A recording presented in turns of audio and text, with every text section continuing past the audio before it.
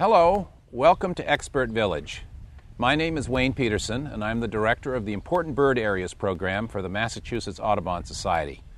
Today we're here at the Daniel Webster Wildlife Sanctuary in Marshfield, Massachusetts, where we'll be talking about bird identification and some of the equipment and essential tools that are useful to get one started in this incredibly interesting pastime.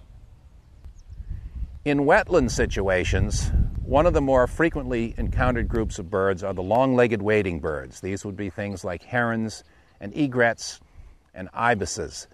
These are all birds that are very distinctive and typically quite large. Many of them stand, you know, as much as two feet or more in length, and typically have, in addition to long, slender legs, uh, long necks. In some cases, their bills are very straight, such as in the great blue heron and the great egret.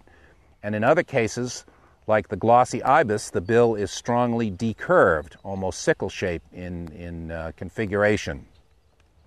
Some of the long legged wading birds are prominently white, such as the great egret and the snowy egret, in which case we look for things like the color of the bill, yellow in the great egret, black in the snowy egret, or the coloration of the legs, black with yellow feet in the snowy egret, and completely dark in the great egret.